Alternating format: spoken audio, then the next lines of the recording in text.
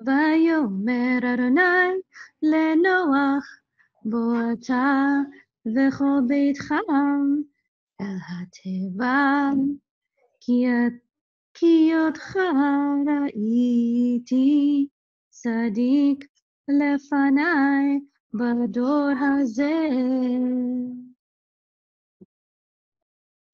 מכל הבהמה הטהורה תיקח לך שבעה שבעה איש ואשתו ומן הבהמה אשר לא טהורה היא שניים איש ואשתו.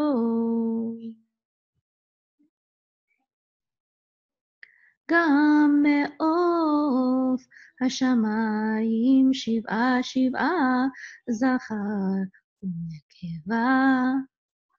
לחיות זרע על פני כל הארץ.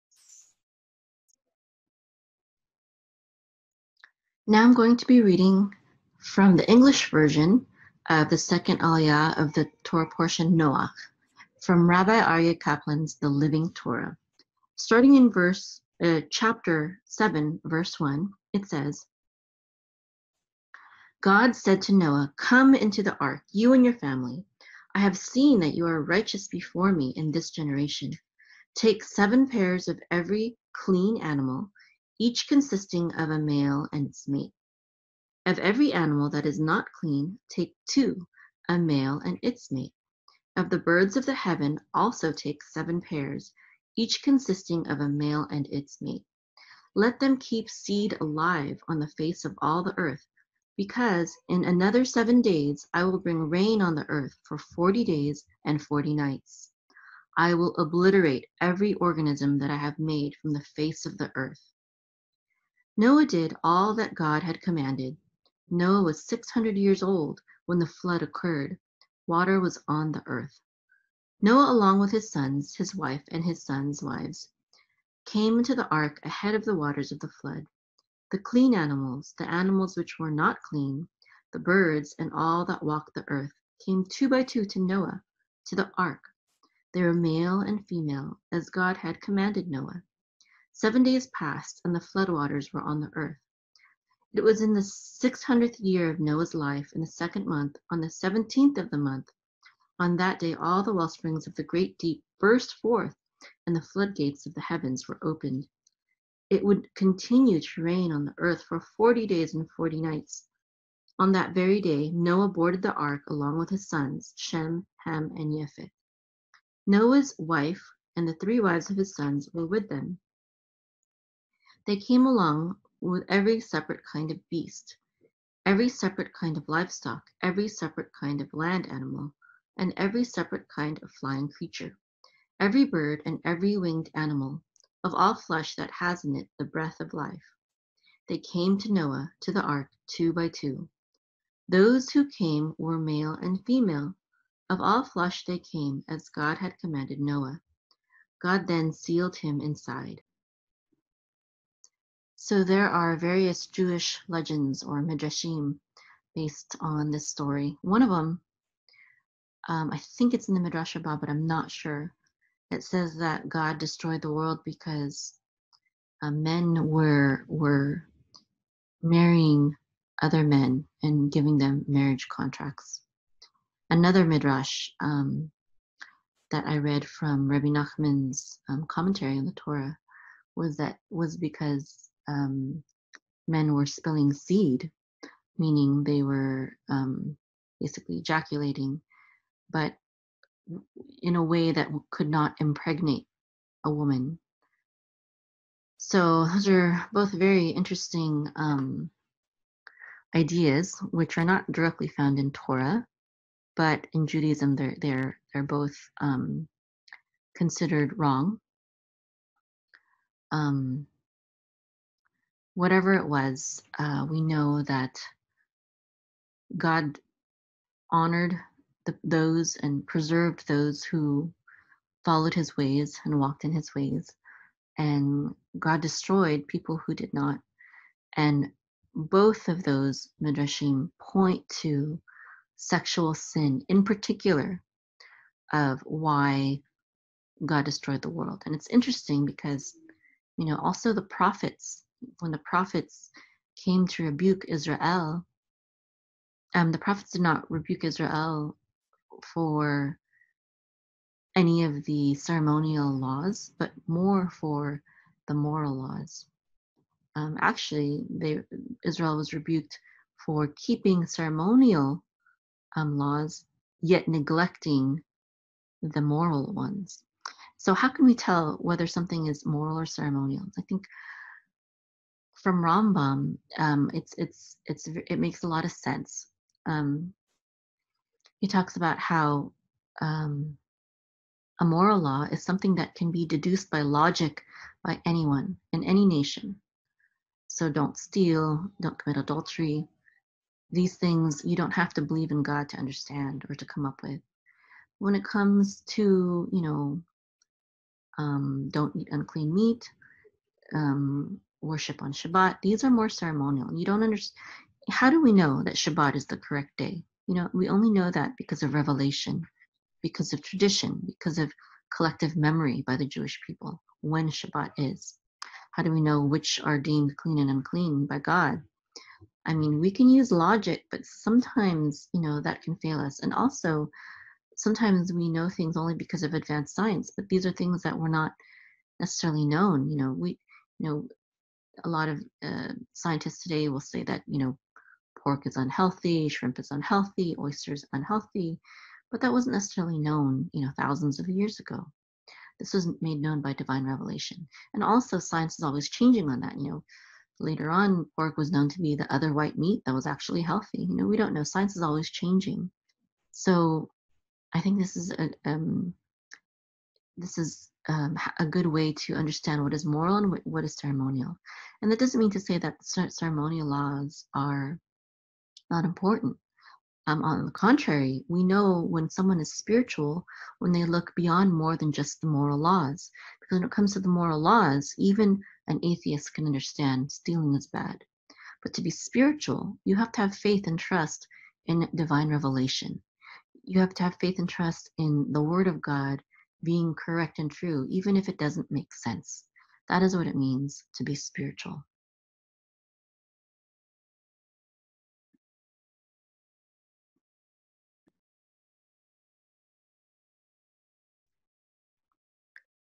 So now let's get into the Hebrew for this passage. So it says Vayomer, which means and he said. Um, this is Yod Hevavhe Hashem, the divine name Yod Hevavhe, which speaks of God's eternal nature. Lenoach, le means to, and Noach is Noah. Okay, and the root of that word has to do with um, the word for comfort and then we have um, bo, which means come. And here it says ata, which means you. And this is vechol, meaning and all. And beit cha, beit cha means your house. Bait is house, and the cha part means your. So your entire your entire household. El means two. This la right here is an abbreviated form of this word right here, El, two. Okay, Lenoach, El. And this is Hateva. Hateva means the ark. Ha means to, uh, the, and Teva is ark. And then we have Ki Otcha. Ki means for or because.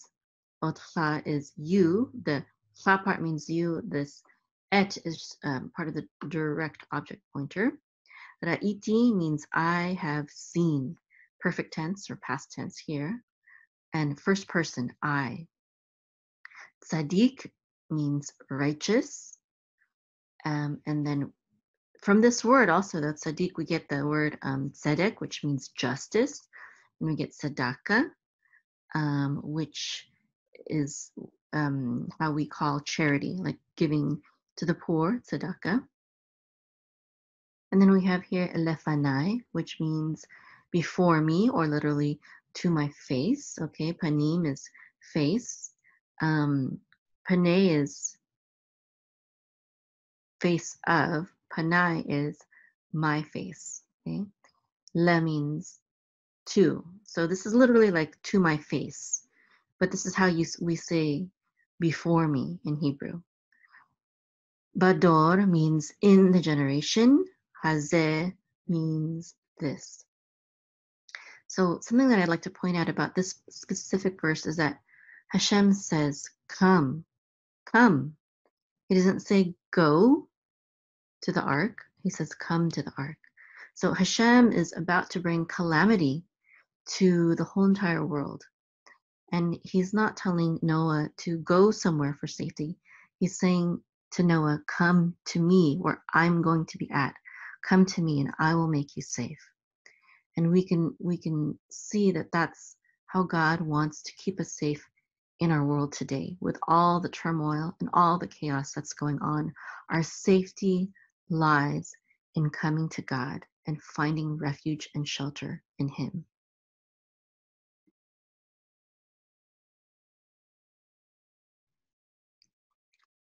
Next verse, mikol. Mikol means out of all. Mi is from, and kol is all. From or out of. Mm, there's different ways to translate this. Mikol, out of all, from all. Habehema. Uh, this specifically refers to herd animals like cattle, any kind of animal that um, that groups into herds. Okay, behema.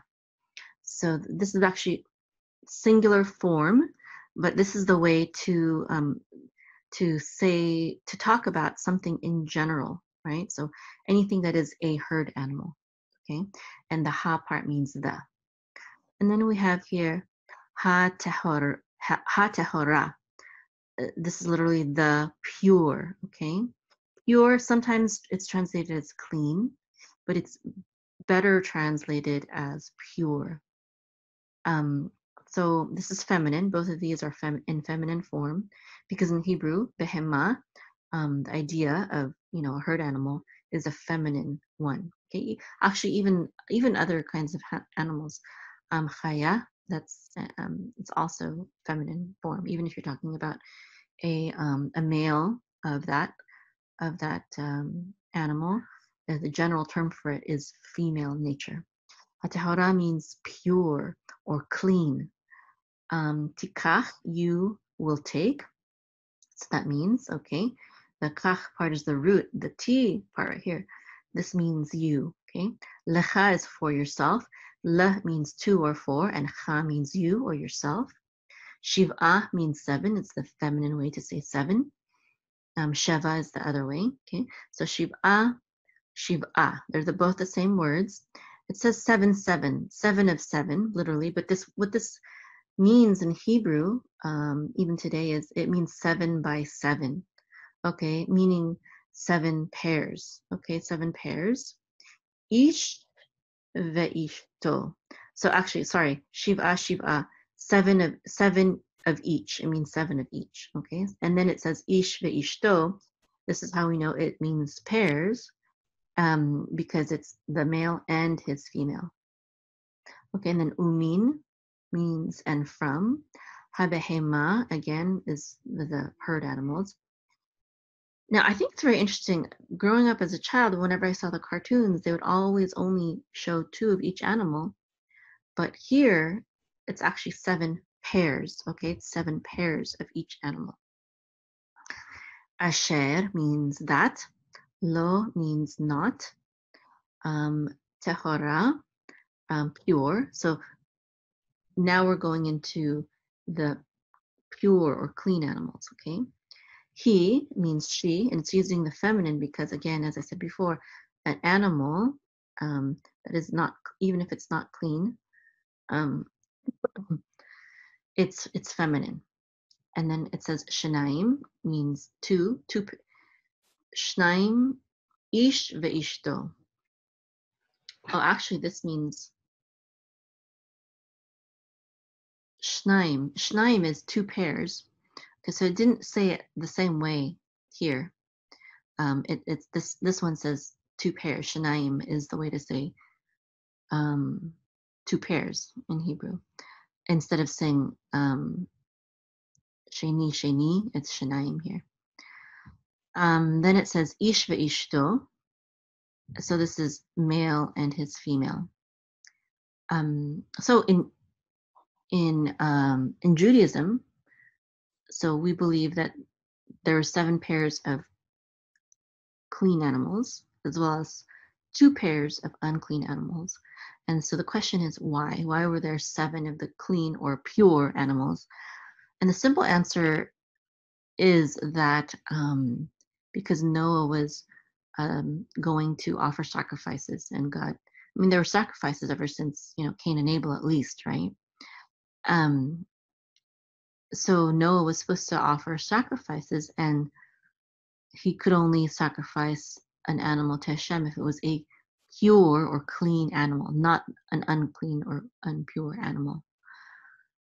So um, some say that that Noah did not have to follow kashrut laws, so he could eat unclean meat. But I, there is, I there, you know, that's that is debatable because we already know here that there's a distinction between clean and unclean.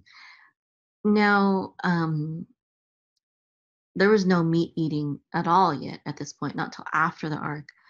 Um, after after they got off the ark, did God say they could they could eat animals? And even though it does say you can eat any animal, there was still a distinction between the clean and unclean. Um, for me, it's like, you know, if I tell someone, oh, you can eat, you can go ahead and eat anything in my kitchen. Well, I don't mean, you know, the soap when I say that, you know, but I, I'm just giving a blanket statement in general, like, yeah, sure, go ahead, eat whatever is there in my kitchen. That doesn't mean that, you know, every single thing in my kitchen is edible. You know what I'm saying? Because Noah here had already known which ones were clean and which ones were unclean. So, you know, did they eat unclean meat um, before the Torah? Possibly. It's very possible. Excuse me. Did they refrain from eating unclean meat before the Torah, before the giving of the Torah at Mount Sinai? It's possible. It's also possible that they did eat unclean meat and they were allowed to eat unclean meat. I'm not sure, but we at least know that there was some kind of teaching, that there was a form of Torah because there's no there's no mention here in in the uh, in the Torah up up to this point which animals are clean which ones are unclean. So there's an unspoken or at least an unwritten Torah that we don't yet know about, but it's um it's referenced, right? So the Kabbalistic belief is that the Torah was given, you know, even to Adam and Eve. Maybe not the same exact Torah that was given at Sinai, but a form of it, its principles at least.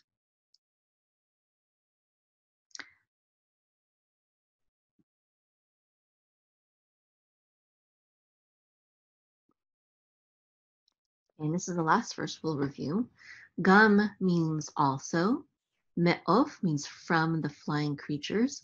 Bird is tzipor, but of is something that flies, okay? And so it can it, it can it can be more inclusive than just um, than just birds. So anything that flies, it could include bats, it could include um, you know flying lizards, flying bugs, um, even flying mammals, you know, if there were any. So, oh, from the flying creatures, Hashemayim, the heaven. So the flying creatures is implied of here from the flying creatures of the heaven. Um, Shiva, seven, Shiva, seven of each. Zachar, male. Un, un, unekeva, and female. So again, according to um, Judaism, this indicates uh, this is a pair, male and female, seven pairs, okay? Lechayot, to, to preserve life, basically, is lechayot. Le is to, chayot would, would be preserve life here. Zera is seed, okay? Can also be translated as offspring. Al means upon, and pene is the face of or the surface of. Chol is the entire or all. Haaretz is the earth or the land. Would you like to become the healer of your home and your community and create a profitable online health coaching business? Are you interested in becoming a health coach, a naturopath, an herbalist, or a nutritionist? Do you need help finding the right program for studying holistic health and healing? Or perhaps you already have certification, but you're still not confident enough in healing people and don't know how to build a business that will empower you to have an impact and allow you to leave your regular day job. Are you ready to get a deep and comprehensive picture of holistic health and healing and learn from top healers in our day so that you can stop being stuck in a job or a career you don't have a passion for? Heal yourself and others without the need for pharmaceutical drugs with harmful side effects, doctors, or even dentists. Become more knowledgeable about holistic health and healing than most medical doctors who have graduated from medical school without spending hundreds of thousands of dollars and years of time in expensive medical schools or programs. Build a health coaching business that will allow you to work from home and achieve time, location, and financial freedom. Arukah.com empowers people to become the healers of their home and their community by equipping them with naturopathic herbalism, health coaching, and online business and marketing skills. My name is Mayim. I'm 42 years old and a homeschool mom of seven beautiful children. These two in the photo are my October babies. I became a naturopathic herbalist and health coach in order to take charge of my family's health when the modern medical system kept failing us. We were spending thousands of dollars on insurance and other medical expenses, but they did not have any answers for our health problems. Working from home has been such a blessing for us. I used to work at the NASA Ames Research Center as a computer scientist slash engineer. But being able to have an online business has enabled me to surpass my income at NASA and to be there for my family, homeschool them, take care of them, watch them grow up every step of the way for 18 years now. I started Arukah.com in 2009 to help people become healthy and heal themselves. I've coached all sorts of people, and eventually, even medical doctors and nurses started coming to me repeatedly for help for various health issues for themselves or their loved ones. I help people heal themselves of serious diseases such as cancer, heart disease, and high blood pressure, diabetes, as well as other common issues such as hormone imbalances, abnormal bleeding, migraines, eczema, kidney stones, gallstones, cataracts, and even urinary tract infection. Various people began asking me to start teaching what I know about holistic health and healing, including two medical doctors who have become very good friends of mine. When I realized that there was such a demand for the knowledge I have that even medical doctors were telling me to teach, I shifted the focus of Arukah.com, and now we teach people how to become confident healers through our naturopathic herbalist and health coach certification program. We help people become healers of their home and community and create profitable online health coaching businesses. If you're interested in becoming a holistic healer, please visit our website, arukah.com. A R U K A H.com. Again, that's A R U K A H.com. Hope to see you there.